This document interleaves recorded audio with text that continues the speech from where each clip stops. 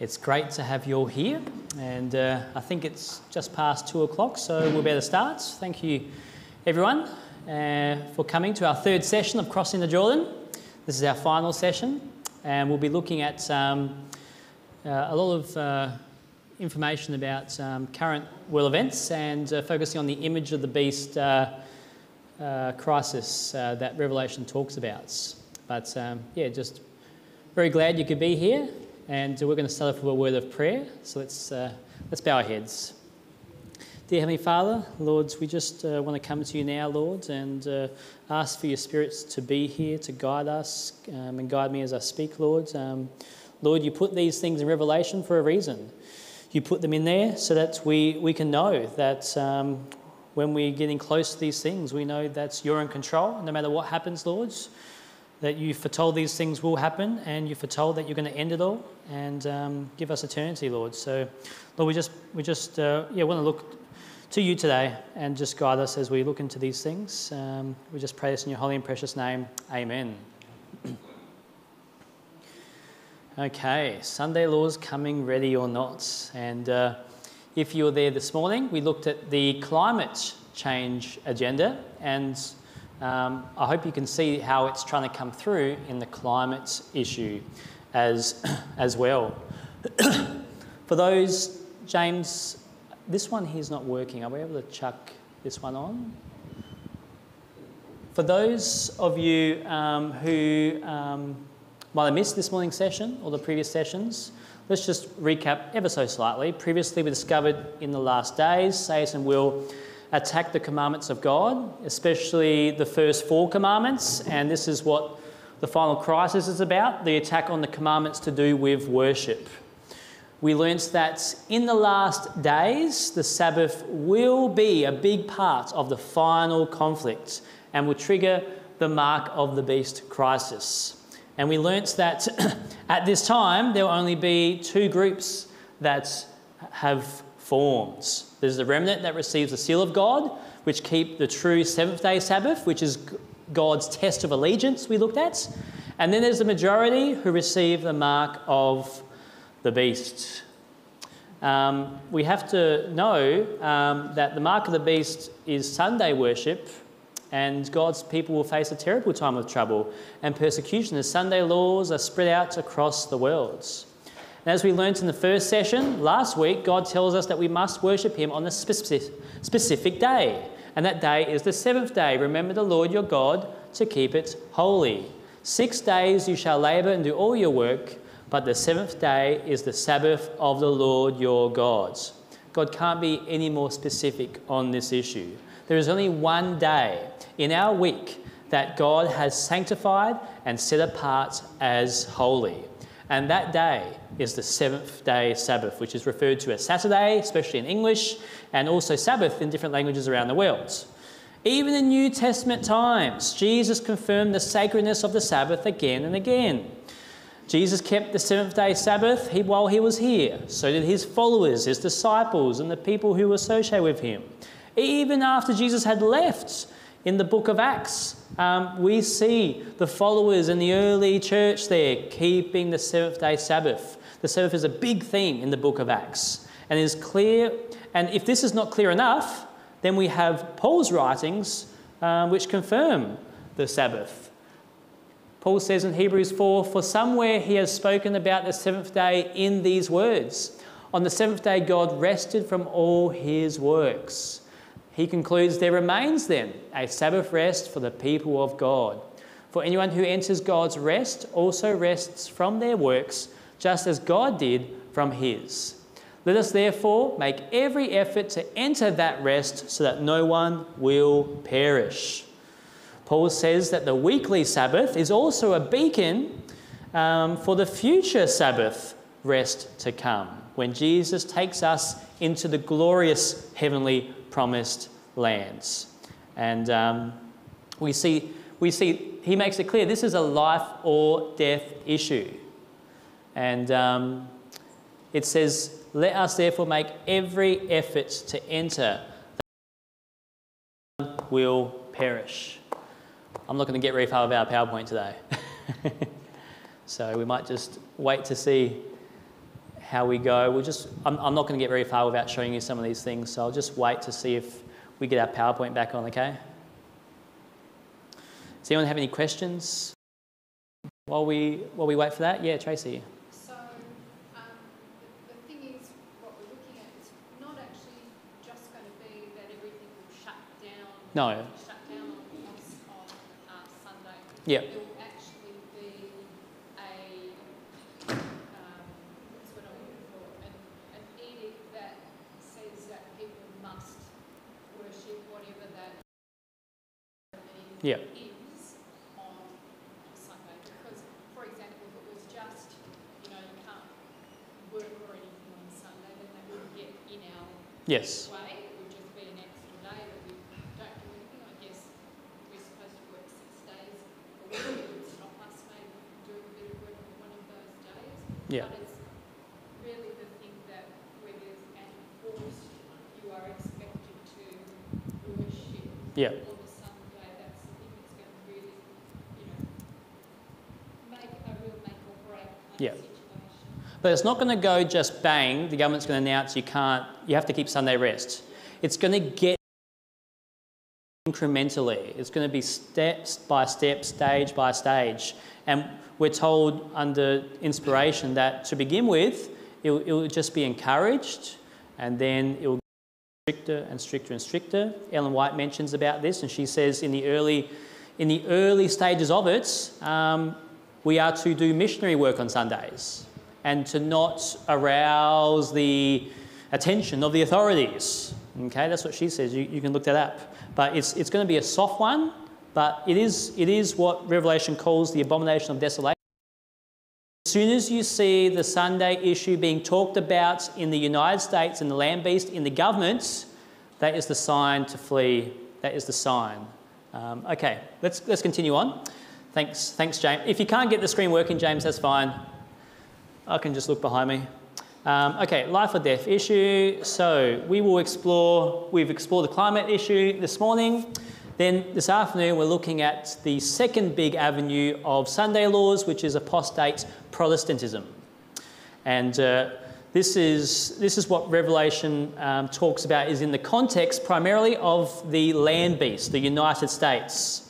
And it's also worth noting, as you read Revelation, it also, it also refers to apostate Protestantism as the false prophets. Have you read about the false prophet in Revelation? It's the same thing, okay?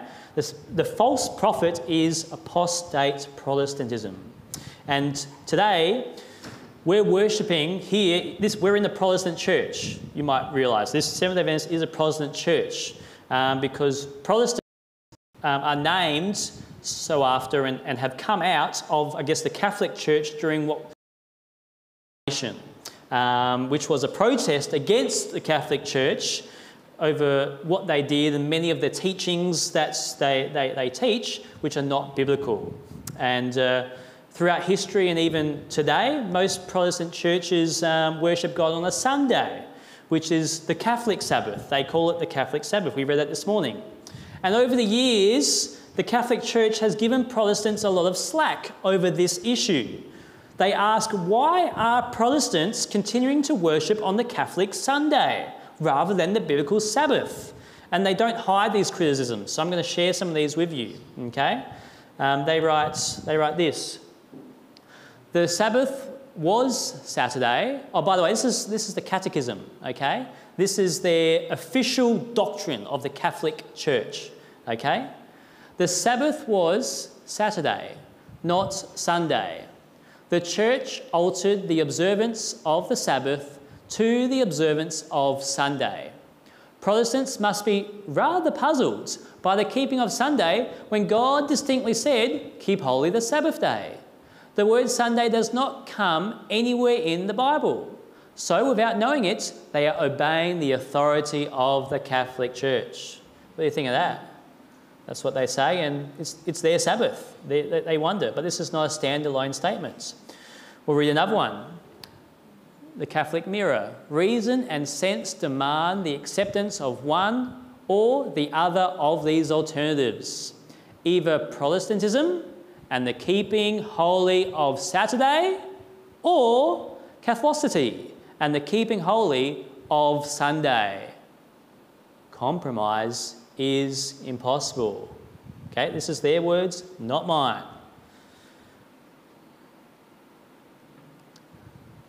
Let's read more of their stuff. Protestants accept Sunday rather than Saturday as the day for public worship after the Catholic Church made the change. But the Protestant mind does not seem to realise that in observing Sunday, they are accepting the authority of the spokesman for the Church, the Pope. It's a mark of their authority. We looked at that last session. This is what they say. This is what they teach. They're very clear on this. Okay, let's read this priest. It is well to remind the Presbyterians, Baptists, Methodists, and all the other Christians that the Bible does not support them anywhere in their observance of Sunday. Sunday is an institution of the Roman Catholic Church, and those who observe the day observe a commandment of the Catholic Church. Just keep going. This is a good one. The, the, Roman Catholic Church changed the observance of the Sabbath to Sunday by right of the divine infallible authority given to her by her founder Jesus Christ. That's not found in the Bible. The Protestant claiming the Bible to be the only guide of faith has no warrant for observing Sunday. In this matter, the Seventh day Adventist is the only consistent Protestant. What do you think of that? That's what they say. They have no warrant for observing Sunday. It's amazing. I can't disagree with them, can you, on this point? Um, they claim to have made the change to, to Sunday, which they did, and they openly outright to say that there's no biblical authority for them doing the change other than whatever. Yeah. So, and they, they admit there's no record in the Bible because there isn't. There's no record. And as we looked at in our previous session, they said Sunday is our mark of authority. The church is above the Bible, and the transference of Sabbath observance is proof of that fact. This is the big, big issue. This is their defining mark. This is the mark of the beast. I hope you can see. And this is why they're so puzzled by Protestants who continue to follow this Catholic doctrine. But the Bible tells us all this will take place. So let's keep reading Revelation 13. And now let's go into what it says about the United States and the apostate Protestants. Revelation 13. And I saw another beast coming up out of the earth, talking about the United States. And he had two horns like a lamb and spoke like a dragon. And he exercises all the authority of the first beast, the Catholic Church, in his presence, and causes the earth and those who dwell on it to worship the first beast whose deadly wound was healed. He performs great signs so that he even makes fire come down from heaven on earth in the sight of men. And he deceives those who dwell on the earth by those signs which he was granted to do in the sight of the beast, telling those who dwell on the earth to make an image to the beast who was wounded by the sword and lived. He was granted power to give breath to the image of the beast that the image of the beast should both speak and cause as many as would not worship the image of the beast to be killed. He causes all, both small and great, rich and poor, free and slave, to receive a mark on their right hands or on their foreheads, and that no one may buy or sell except one who has the mark or the name of the beast or the number of his name. There's a lot in, this, in these verses that we don't have time to go into today. This can be many, many studies, okay? But also remember, a lot that is mentioned here is in the future, okay? It hasn't happened yet. But it's talking about that final great crisis and the part that the United States will play in it, a big, big part. So, in order to understand what God is saying here, I'm going to give you, I'm going to keep giving you some more meanings to the symbols that we have here. Earlier this morning, we identified the sea beast, the first beast, as the Roman papal system. We identified the land beast as the, who's the second beast, the United States. Okay. Then we read in Revelation 13 just there about the image of the beast. Okay, what is the image of the beast? The image of the beast is apostate Protestantism. And as my favourite Bible commentator says, she says this The image of the beast represents that form of apostate Protestantism which will be developed when the Protestant churches shall seek the aid of the civil power for the enforcement of their dogmas. The image of the beast will be developed when the Protestant churches shall, shall seek the aid of the civil power for the enforcement of their dogmas. So the image of the beast is apostate Protestantism, which will use the civil government to enforce their teachings. As we've discovered from the previous sessions, the mark of the beast is Sunday worship, while the seal of God is the seventh day Sabbath. That's all the symbols that we'll need for today. Okay? The seal of God is the seventh day Sabbath. We looked at this in the first session last week. We are told this very clearly. Testimonies for the church the sign or seal of God is revealed in the observance of the seventh day Sabbath, the Lord's memorial of creation. The mark of the beast is the opposite of this the observance of the first day of the week. And in recent times, we are seeing the Catholic Church outrightly calling for Sunday laws to be put in place by lawmakers. They're outright saying this. I'm not just talking about individuals in the church, I'm talking from the official doctrine of the church. Take, for example, the Catechism of the Catholic Church. Okay? What is a catechism? It's, it's a work that summarizes the Catholic Church's doctrine. This is their book of Catholic doctrines. Okay, this is the this is their authority that they go off. And what is their doctrine on this issue? What do they say in this? Well, let's just have a look and see what they write in it. Remember, this is their official doctrine. It says there on the front cover that it is. So, let's read it. In the 1985 version, it said, cooperation by the civil authorities regarding this commandment, talking about the Sabbath. It says the civil authorities should be urged to cooperate with the church in maintaining and strengthening this public worship of God and to support with their own authority and regulations set down by the church's pastors. For it is only in this way that the faithful will understand why it is Sunday and not the Sabbath day that we now keep holy. It is only by civil governments getting involved, they say. Now, this is the 1985 version. Just for comparison, I'm going to show you the more recent version, what they say. And the more recent version takes things to a whole new level. Okay? This is the 1994 version. Ratzinger put this together. Pope Benedict, in other words. He was behind this revised version, 1994. This is what it says in section 2187. Sanctifying Sundays and holy days requires a common effort. In spite of economic constraints, public authorities should ensure citizens a time intended for rest and divine worship. Now, is this prophetic or what? I just want to show you where it's heading. And um, this next section, I wonder what you think of this next section, they say. This is section 2187. Next section, 2188, says In respecting religious liberty and the common good for all, Christians should seek recognitions of Sundays and the church's holy days as legal holidays. Now, is that a Sunday law is that a Sunday law? And, and notice religious liberty, for the sake of religious liberty. I don't, I don't know what that's got to do with religious liberty, actually. Um, and this, this final statement should really wake us all up, shouldn't it? Christians should seek recognitions of Sundays and the church's holidays as legal holidays. Now tell me, how do you make a legal holiday, especially in the United States? You, you have to go through Congress. You have to go through Congress. So, in other words, this statement in their, this is from their catechism. This statement says that Christians should encourage or pressure the civil authorities to make Sunday a legal holiday. And how do you do that? You pass a Sunday law.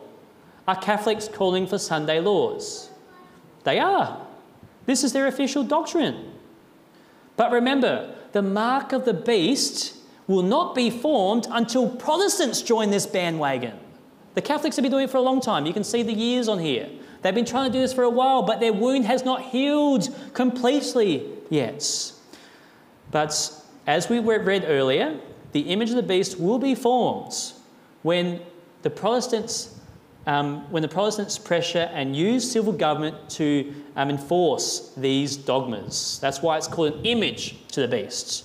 It is an image or copy of the Catholic Church, Catholic doctrine. The Catholic Church is already calling for this. They've been calling this for many years. So the question I want to ask today is this big one. Is an image of the beast beginning to be formed today? Is it beginning to be formed? In other words, are Protestants beginning to call on the civil government to enforce their teachings? And remember, the Bible tells us that we specifically need to look at the land beast, the United States, on this issue, as this is where the image of the beast will be formed. So we need to watch the United States very, very closely. But you might be wondering, how can all this possibly happen in America? Doesn't their constitution protect freedom of religion and the separation of church and state? That's in their constitution. Australia doesn't have those safeguards. So if this tried to come here, it could easily come through. But in America, they've got these safeguards. Here it is. The First Amendment of the US Constitution says Congress shall make no law respecting an establishment of religion or prohibiting the free exercise thereof. Okay? It's in their constitution. This is it. So, how, how is this going to happen? Well, I don't know if you've been keeping up with the news and affairs of the last few years in the United States, or particularly in the last few months, but if you have, you would be seeing that this First Amendment is under attack. What do I mean? Have you heard of Christian nationalism? Have you heard of that term before? What is Christian nationalism? Well, a, one's definition says Christian nationalism, nationalism is the belief that the American nation is defined by Christianity. This is an American situation, this term. And that the government should take active steps to keep it that way. Particularly, Christian nationalist asserts that America is and must remain a Christian nation, Christian nationalism not merely an observation of American history, but as a prescriptive program for what America must continue to be in the future. Okay? And since this article was released in 2021, there has been a rise in Christian nationalists in America who believe the government must be directed by the church. Here's one such example. Pastor says Christians must be the ones writing the laws. We want God to be in control of everything the pastor says. Um, and uh, it's very interesting what they say. Um, it says here, he made a direct call for Christian nationalism, declaring that America should be governed according to biblical law for the benefit of believers and as a way to prepare for what? The second coming of Christ. It's all part of the King coming back. This was April last year as a lead in to President Trump's campaign. Can you see what they're calling for?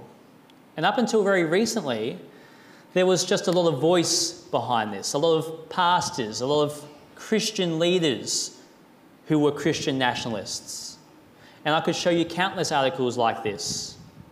But in recent times and within the last year, we, as we head closer and closer to the US election, we have begun to see powerful politicians, lawmakers, and organisations call for church and state to combine back together to fix the declining morals and the state of the world. Here's an example of an um, organisation that has been raised up. Centre for Renewing America Join the movement for God, for country, for community.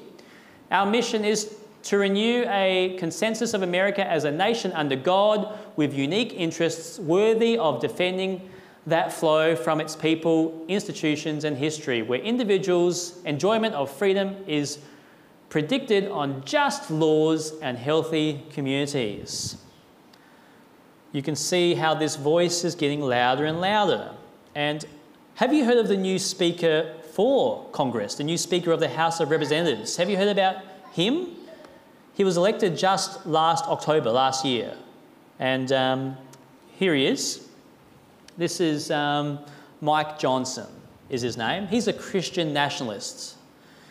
And he was elected to be the Speaker of the House of Representatives, the top, top form of government in America. And here's a screenshot from my video on my YouTube channel that I put together. But just to give you an idea of how powerful this man is, let's just have a look at this. This is on the US websites.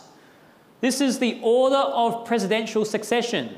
So if a president cannot carry out the duties of office, they have the second in line, the third in line, okay? Notice the first in line is the vice president. That makes sense. But who is the second in line? It's the Speaker of the House. It's Mike Johnson, okay? And let me, let me tell you, let me, let, let, let's let Mike tell you a bit about himself. Here's his X profile, Twitter X, Speaker Mike Johnson. He, he calls himself, he's the 56th Speaker of the House. He's a Christian, husband, dad, constitutional law attorney, and small biz owner. But did you notice that? What's his profession by trade? A constitutional lawyer. This man has actually served as a constitutional lawyer for decades. And as far, as far as experts in constitutional law go, this man might top them all. Yet, it's remarkable. We have an expert in constitutional law who's second in line for the presidency, and yet he is probably one of the vocal, one of the most vocal voices in calling for the unification of church and states. Here's one of his posts, okay, that he posted. He said, As we celebrate the second annual observance of Faith Month, this is a great time to explain the true meaning of the so called separation of church and state. The so called separation of church and state. Okay? This is just April last year this came out, okay? Less than a year old. What do you want to hear what his, what, what, he, what his arguments are? Let's just, let's just read it, um, James, if we can put the sound up. Listen very carefully to what he says. There's a number of things that he says.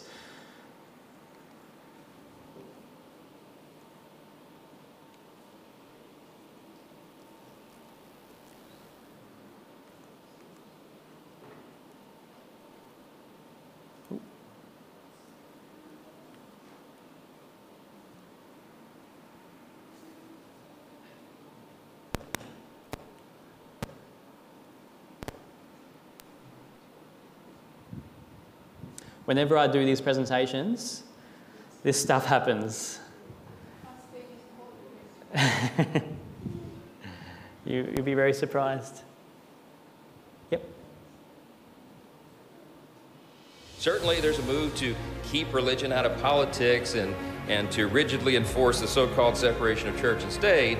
Indeed, this common misunderstanding about the separation concept is, is an important one. It's, it's one that's it's, uh, useful for us to address. In fact, it's one of my favorite uh, subjects. It's, it's a topic that I've debated, debated and, and written and taught university courses on for, the, for about 25 years, about a quarter century. I really believe this is among the most misunderstood subjects in our entire culture.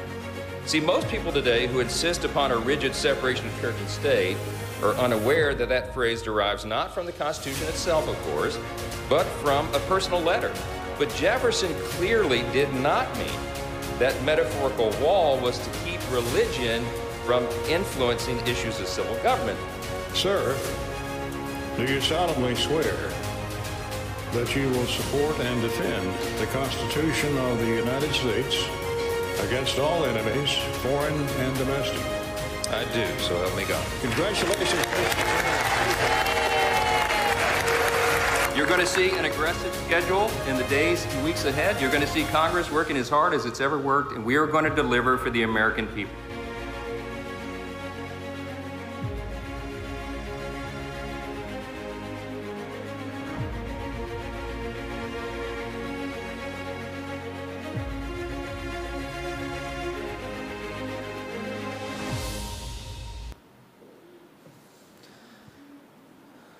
Did you catch what his role was? He was sworn in to defend the Constitution of the United States.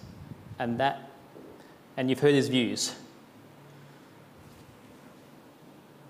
Mike Johnson's Christian nationalist track record isn't a mystery, it's a tragedy. And just talks about how he's been working for, for years to try to erode the separation of church and state. This is, his, as he said, one of his favourite topics, his passionate topics that he's about. And um, before you think he's lost the plot, he's actually got some pretty good reasoning behind him about this. Um, because you have to remember he's a constitutional lawyer, so he, he would have good arguments. So, why is he trying to get rid of the separation of church and states? Well, he argues that the separation of church and state is technically not in the Constitution. In words, we read the amendment, it's not there technically. Okay? He argues the Constitution has been wrongly interpreted and that it was never intended that church and state should be separate.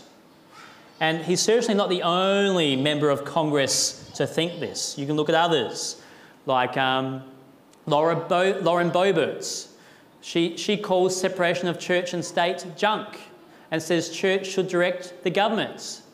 And she says, I'm tired of this separation of church and state junk.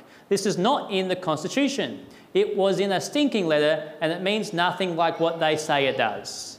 Okay? The church is supposed to direct the government and the government is not supposed to direct the church. She won her election last year. She's people support her. Okay? But can you see where this is leading? Remember, this is what prophecy told us would happen. Is this prophecy being fulfilled? We read in the Great Controversy such action would be directly contrary to the principles of this government, to the genius of its free institutions, to the direct and solemn avowals of the Declaration of Independence and to the Constitution. The founders of the nation wisely sought to guard against the employment of secular power on the part of the church, with its inevitable results intolerance and persecution. The Constitution provides that Congress shall make no law respecting an establishment of religion or prohibiting the free exercise thereof, and that no religious test should ever be required as a qualification to any office or public trust under the United States. And she continues only in flagrant violations of these safeguards to the nation's liberty can any religious observance be enforced by civil authority. But the inconsistency of such action is no greater than is represented in the symbol. It is a beast with lamb like horns, in profession pure, gentle, and harmless, that speaks as a dragon. Ah, are we beginning to see the official leadership of the United States speak like a dragon? I think I've just shown you it. I believe we are. I believe these words are about to come true. Soon, Sunday laws will be enforced, and men in positions of trust will be embittered against a little handful of God's commandment keeping people. The Sunday movement is now making its way in darkness. The leaders are concealing the true issue and many who unite in the movement do not themselves see whither the undercurrent is tending. And we're going to see a bit later on. They don't know where this is heading. They are working in blindness. They do not see that if a Protestant government sacrifices the principles that have made them a free, independent nation and through legislation brings into the Constitution principles that will propagate papal falsehood and papal delusion, they are plunging into the Roman horrors of the Dark Ages. Is the Sunday movement now making its way in darkness? Can we see Sunday laws developing in our social and political worlds, especially in the context of America? Have you heard of Project 2025? Project 2025. Now, this is again something that's only come up in the last year. Okay? What is Project 2025? Project 2025 is a plan to establish a framework for a hypothetical Republican winner of the 2024 United States presidential election. It's named Project 2025 because the president only gets into power in January of 2025, but the election is this year, okay? Project 2025. And you can just go to their websites, okay? Presidential Transition Project. Building now for a conservative victory through policy, personnel, and training. And so, Project 2025 itself is a playbook and a manual, as they call it, for the next Republican presidents, whoever he or she may be, if they get elected to power, that is. And here's what the playbook looks like it looks like this mandate for leadership. This is the product of more than 400 scholars and policy experts. Um, and talks about how this is prepared by and for conservatives who will be ready on day one of the next administration to save our country. This book is the, entire, is the work of the entire conservative movement. The next conservative president will enter office on January 20, 2025 with a simple choice greatness or failure. Pro, uh, Project 2025, mandate for leadership. This is what they're going to give to the next president. This is what you need to do. And in this book, it's almost a thousand pages long. It covers all areas of, of government, all the departmental areas, okay? Every area and tells, and tells what their plans are. And Ben Carson, who was the Minister for Housing and Development, he wrote a chapter in this, okay? Ben Carson did. Um, I'm not going to talk about his chapter now because I don't have time. But it, it's, it's amazing. It talks about laws facilitating Sabbath laws, Sabbath worship. And guess what chapter it talks about that in? It talks about that in the Department of Labour and related agencies. Okay? And this is what they write in chapter, oh, sorry, in page 589.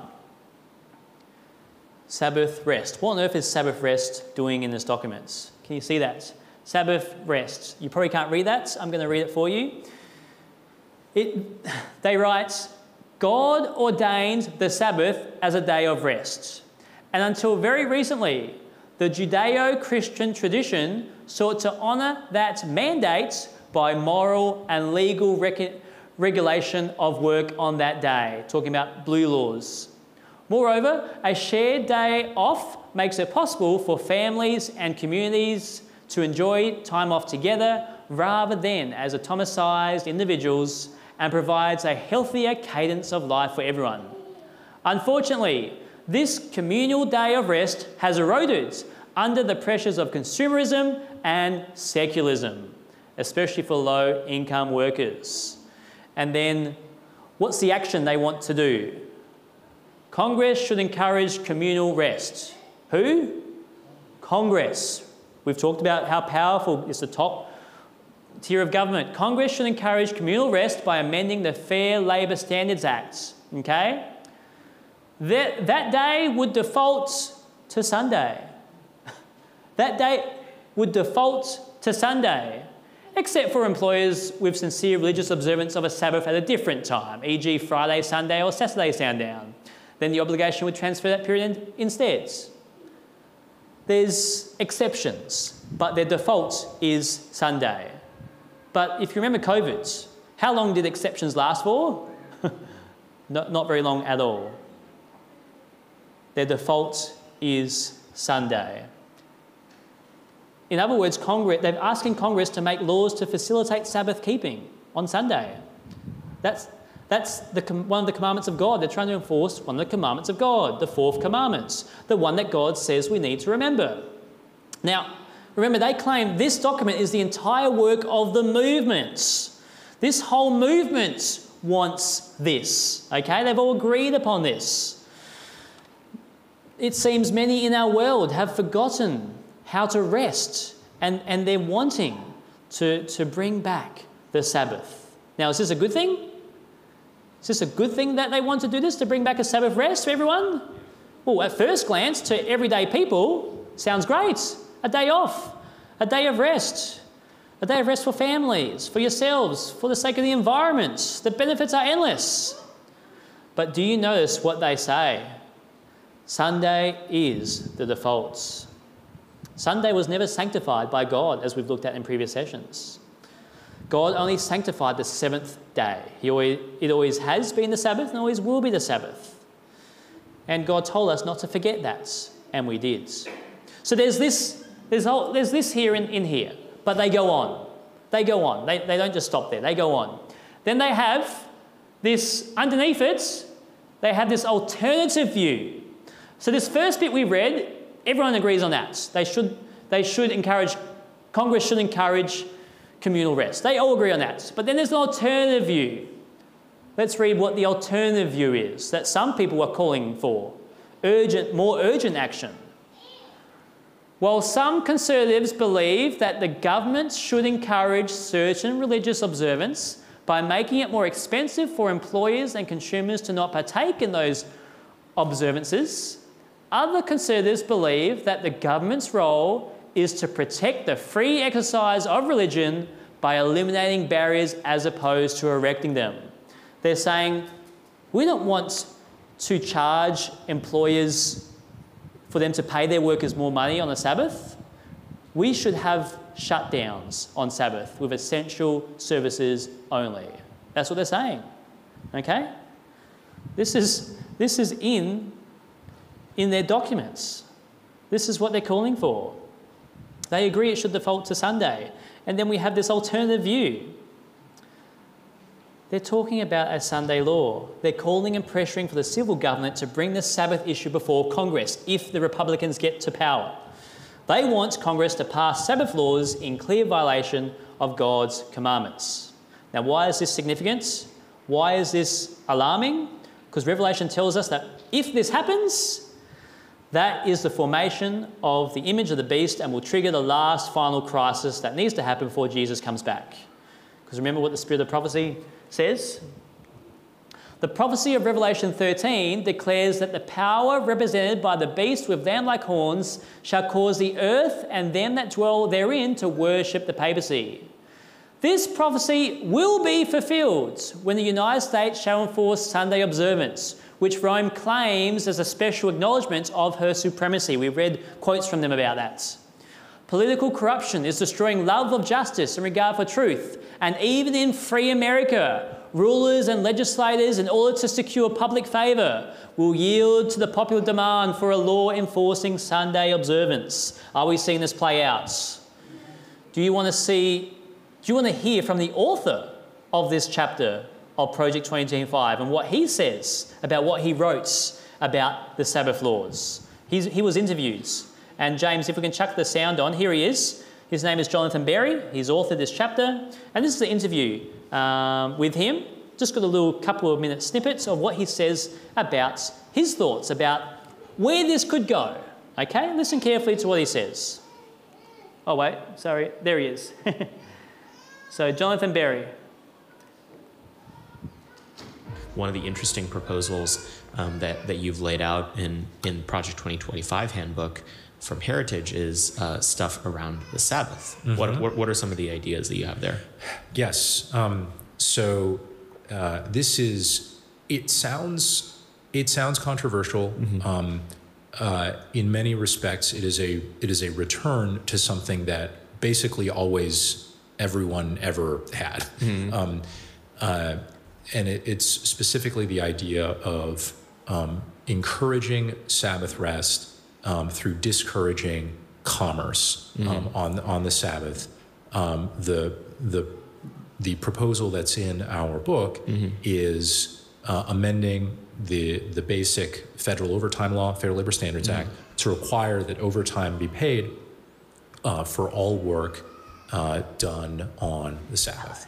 Um, oh, interesting. Yes. Yeah. Um, so I don't think um, uh, I, I, don't think I don't think Congress has um, the authority to mandate uh, like a national closing uh, mm-hmm. on, on the Sabbath. This was that was always a, a state decision mm-hmm. um, to do that. But I, let me add, it was always a state decision mm-hmm. to, to do that. They did um, it. and, and, yeah, I'm not uh, you know I'm not saying this practice was uniform, homogenous, uh, whatever, but um, very very widely spread and only only recently in the last um, few decades um, have uh, have most states moved moved away from this. Um, so this is, um, I think, this is about as far as the federal government could could properly go mm-hmm. in this space. Um, but it would be an encouragement and inducement um, uh, to um, to to rest, but really to kind of coordinate commercial activity for the other six days mm-hmm. uh, of of the week, which mm-hmm. is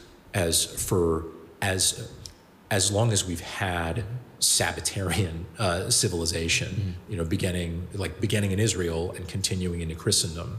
Um, this is something that's been increasingly a part of the rhythm of civic life.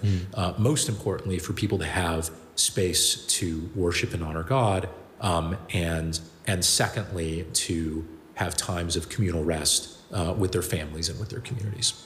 Do you think in a in an America where family formation has plummeted, the commercialization of every part of life is is is continuing and abundant, um, and religious observance is, is down? Yes.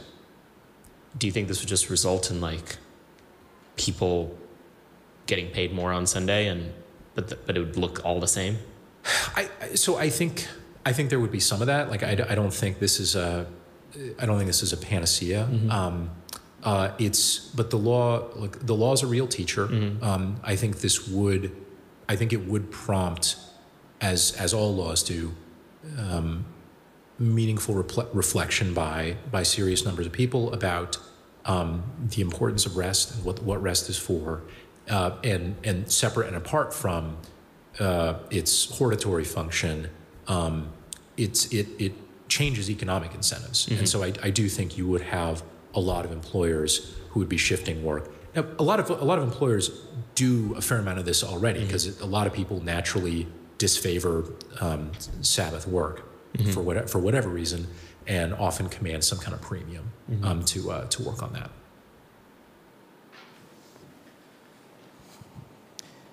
Are they talking about Sunday laws, Sabbath laws? Notice some of the words he said. Inducements. Did you hear that word? We know that's got some prophetic implications. He doesn't know where this could go. He doesn't think Congress could do more in this space, but he says.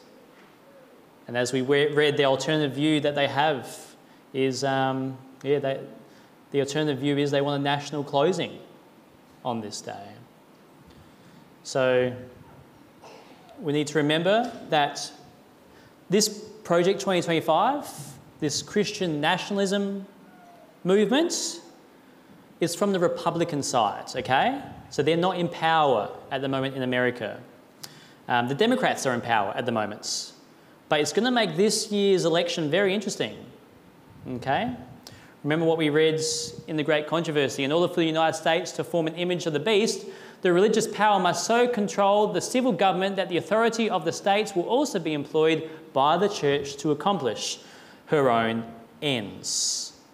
Are we seeing the beginnings of this? What do you think? Are we coming up to the Jordan River for the second time? You know, just less than two weeks ago, on February the 22nd, maybe, maybe just over two weeks ago actually, this year, Donald Trump spoke at a National Religious Broadcasters annual convention.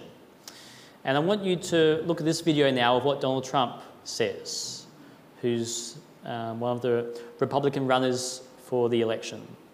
And remember, it's not about the party or the leader. I want to make that clear. I'm not saying the final crisis will come through the Republican Party.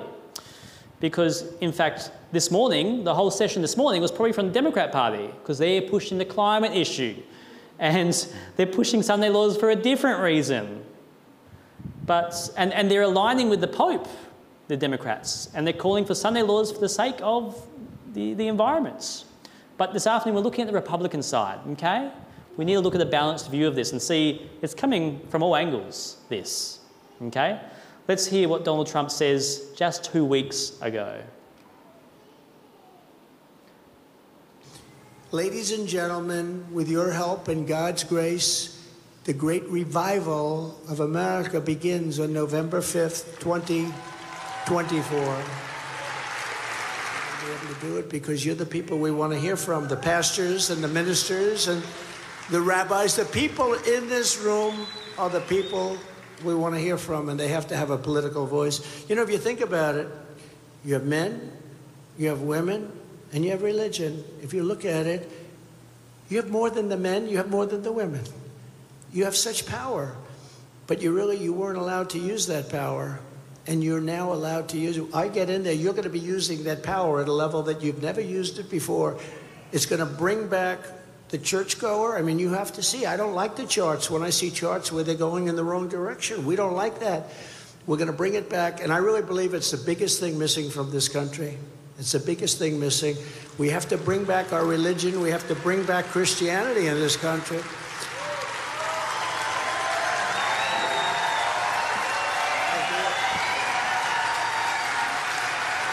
He's going to give Christians power like they've never seen it before. I remember um, he said in his first um, term, leading up to his first term, he had the slogan, um, Make America Great Again. This time, what they're handing out, they're handing out stuff that says, Make America Pray Again. That was just two weeks ago, okay? Unprecedented political power he wants to give to Christians. And when did he say the great revival of America starts? November the 5th, 2024, the US election.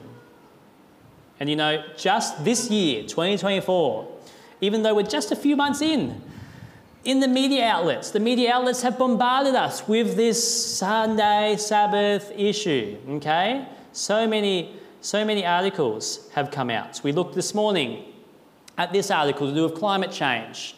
They're calling for a universal period of rest from the Washington Post, January 23, 2024. Okay? This is not the church, this is the Washington Post, capital of America, calling for it. We looked at this year, Feb 21, February 21, 2024. Eco Sabbath, how to cut emissions by doing nothing. Okay? That's the climate stuff. Okay, but there's more. This year, Time Magazine, on January the 25th. Rest takes hard work. They talk about how weekly Sabbaths need to come back. They, the Puritans had, uh, they, they recognized the value of rest and had famously strict work ethic, but they also took their Sundays very seriously. Okay? And I can keep going for this year. Um, the dying American rest ethic. Okay? Um, this is from January the 7th this year. They quote the Sabbath commandment there in Exodus 20. And um, they say that during the, we have this, this raging epidemic of anxiety and its sister depression. We need a day of rest. It is sad that God had to legislate a day of rest for the Israelites, but he, he knows how we humans are. You are not a Jew, you live under the New Testament rather than covenants, but you need to see the wisdom in rest. Okay? I bet you find it nearly impossible to take one day a week of complete rest. I bet if you're determined to do so, those around you would think you're becoming sick or lazy. No telling how long you might live or how healthy you could be if you observe the day of rest to the Lord's. This is in the context of America. Okay? So is the land beast getting ready? It is. Is the sea beast getting ready? They are. The sea beast is getting ready. We've We've looked at publications from the Catholic Church, and I'll show you some more now. The Catholic Church is getting ready for this. Check this one out. This is the Catholic Church in the European Union, okay? They have the European Sunday Alliance, they call it. Work, live, time together. And so this is 1st of March 2024. How long ago was that? Nine days ago. European Sunday Alliance issues new manifesto promoting a work-free Sunday for all. Okay, have you heard of Brexit? They exited the European Alliance, but there's still lots of countries in it. And this is what they're calling for in the European Alliance. In view of the European Day for a work-free Sunday, 3rd of March, the European Sunday Alliance issues this um, a new manifesto stressing that synchronized resting time is an effective tool to counter loneliness and highlights its importance for the mental health of workers. Okay? And um, they, they write a lot more in this. We're not going to read all of it, but they list all the MPs of the Union and all the countries Slovakia, Germany, Czech Republic, um, Austria, Romania, Italy. They list all the people that are promoting this, okay, that are calling for this. And um, they say, how prophetic is this? The Alliance is a broad network of more than 100 national Sunday alliances, trade unions, employers and organisations, civil society associations, um, churches, committed to raise awareness about the unique value of Sunday for our society and the importance of a common day of rest. It's all there. Is the world preparing for this? Is the last days just before us? Okay? The Catholic Church is really trying to push this issue and try and push this particularly um, to the world. Here's another example um, on the US Catholic websites. Okay? This time we're focusing on the US here. This is published February the 2nd, 2024, just a month ago. A new documentary makes a case for reviving the Sabbath. Sabbath is a spiritual discipline. Should it also be social policy? I, I just, I, I haven't got time to present you all this stuff, but this is, this is out there. It's all out there. It's all coming out. It's okay. Let's go another one. Remember when every Sunday was family day? Do you remember when every Sunday was family day? and they, they talk about slowing down and all this stuff. It's just amazing. It's, it's all there, okay? And interesting enough, someone must have given the Catholic Church or one of their, one of their headquarters a great controversy. Because the Catholic Church actually released, um, again, just this year, an, an article entitled The Sabbath or the Lord's Day. And they actually quote the great controversy in it and they actually um, actually um, share and try to defend their position. It's absolutely remarkable. This is the Catholic News Agency, January the 30th, 2024. Recently, we received an 80 page booklet entitled What's Behind the New World Order, which was originally published 100 years ago under the title of The Great Controversy. This book was written by E.G. White, foundress of the Seventh day Adventists, it claims the Catholic Church is behind the New World Order. The booklet claims that this is true since the Church is the beast of Revelation. It accuses the Church of many evil things uh, mark of the beast, day of the sun. Now, it is true that the Old Testament says the seventh day is the Sabbath, but assigning that to Saturday is Hebrew tradition. As Christians, we must consider this in light of the New Testament and the teachings of Christ. If this is a mark of the beast, almost all Christian churches today bear the mark too. okay? But then they continue. Read this. It is true that the Catholic Church, through the authority of Christ, replaced the Hebrew Sabbath with the Lord's Day. I showed you stuff from 50 years, 100 years ago. This is from a month ago. It is true that the Catholic Church, they're still claiming it. They're so prideful about it, okay? This, they haven't changed their tune. They've replaced the Hebrew Sabbath Saturday with the Lord's Day Sunday. However, this occurred, blah, blah, blah, blah, blah, blah, blah, blah. God, in His wisdom, knows that we need to set one day a week special to Him.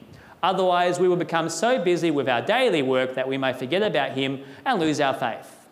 Now, the essential point of the third commandment is that we set it one day a week holy to the Lord's. What's wrong with that sentence? It's the wrong commandments.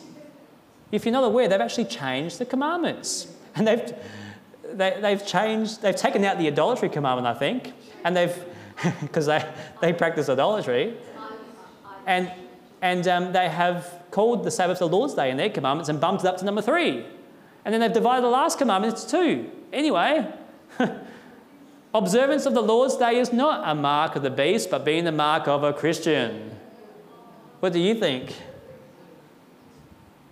I just want to remind you we've been here before. Remember, we've shared that in 1888, Senator Blair put to Congress a bill to secure to the people the enjoyment of the first day of the week, commonly known as the Lord's Day, as a day of rest and to promote its observance as a day of religious worship.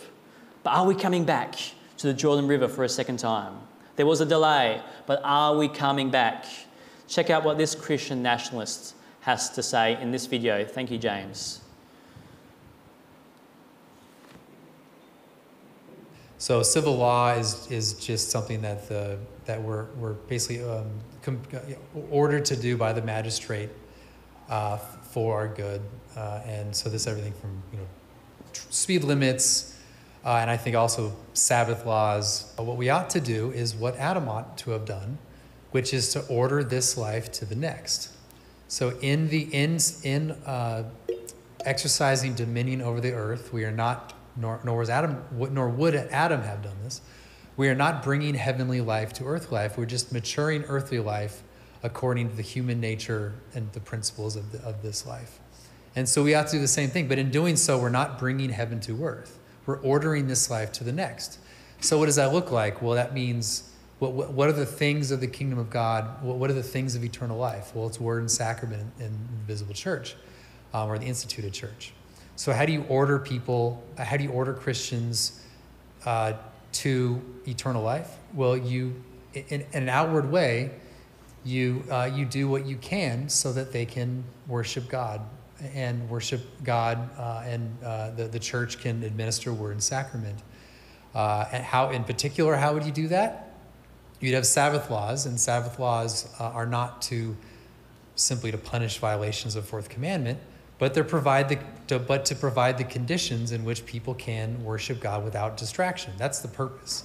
The purpose is not simply God says fourth commandment that's bad, so therefore we punish. That's not what, what I'm saying. We do that because the fourth commandment is, is essentially saying that we ought to worship God corporately um, with, with his people um, on, a, on, on Sunday or a special day.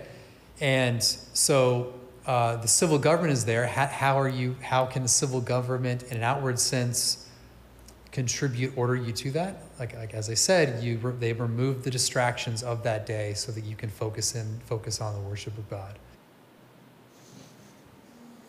Remove the distractions of that day. The great controversy says when the leading churches of the United States, uniting upon such points of doctrine as are held in common, shall influence the state to enforce their decrees and to sustain their institutions, then Protestant America will have formed an image of Roman hierarchy, and the infliction of civil penalties upon dissenters will inevitably, inevitably result. Are we seeing the beginnings of this? The mark of the beast is to be presented in some shape to every institution and every individual.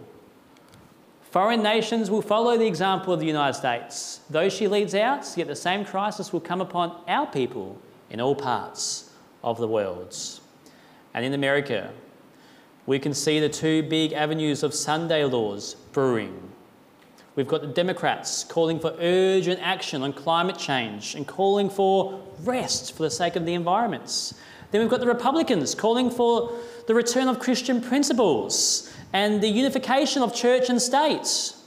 Sunday laws are being proposed in both camps. Where are we heading? Where is this coming to? Are we coming up to the Jordan River for a second time? There won't be a third time if you look in Scripture. Remember what one of the spies said when they did come to the Jordan River? In Numbers 13, it says, The land through which we have gone as spies is a land that devours its inhabitants, and all the people whom we saw in it are great, are men of great stature. There we saw the giants, the descendants of Anak came from the giants, and we were like grasshoppers in our own sights, and so we were in their sights. Likewise, we discovered that Bible prophecy tells us that there will be giants to face before we enter our heavenly promised lands. And the Bible describes that in the future, it will be a land that tries to devour its inhabitants. Our world is changing, and our world is going to change dramatically soon. Jesus says, Then there will be a great tribulation such as has not been since the beginning of the world until this time, no, nor ever shall be. Then we're going to get things to get a lot more supernatural. Fearful sights of a supernatural character will soon be revealed in the heavens, in token of the power of miracle working demons. The spirits of devils will go forth to the kings of the earth and to the whole world to fasten them in deception and urge them on to unite with Satan in his last struggle against the government of heaven. By these agencies, rulers and subjects alike will be deceived. So, what do we need to do? Well, we need to preach the gospel. We need to preach this message. We need to share this message far and wide. This is the three angels' message, is it not? This is there. This is, this is what we're told. That's what this church has been given at this time. That's what I'm trying to do. I remember what Jesus said this gospel of the kingdom will be preached in all the world as a witness to all the nations, then the end will come. And with the advancements of technology, this is now happening at a tremendous rate. Okay? Here is the patience of the saints. Here are those who keep the commandments of God and have the faith of Jesus. Do you want to be in this camp of people? I sure do. And um, I just want to encourage you all as we keep going about in our lives to keep looking up to God's. Because even though these things that um, Revelation has said will come may seem scary and unsettling, we're also told that God will take care and look after us and shelter us through this. And Psalm 91 is also very relevant if you want to read that. It's about how God will protect his people during these times. So, um, with that, I'd like to thank you for coming this afternoon and uh, coming on a 40 degree day to an afternoon program. You're very, very brave. I hope it's been comfortable for you. Before you leave, let's just have um, a word of prayer. Dear Heavenly Father, Lords, we can see your signs unfolding at a tremendous rate. God, please help us to keep looking towards you in everything we do. Lord, please help us to be able to share this message, this urgent message. Please send your spirits upon us and this church, Lords. And Lord, please use us to send the warning to the world that your coming is very, very soon, Lords. And there is a great deception, but you're calling for people to return to you and your truths from your words, Lords. We just thank you. We ask for travelling mercies now as we go home and in the heat, Lord. We just thank you for your Sabbath and we just uh, praise and glorify you in your precious name. Amen. Thank you, everyone. God bless you.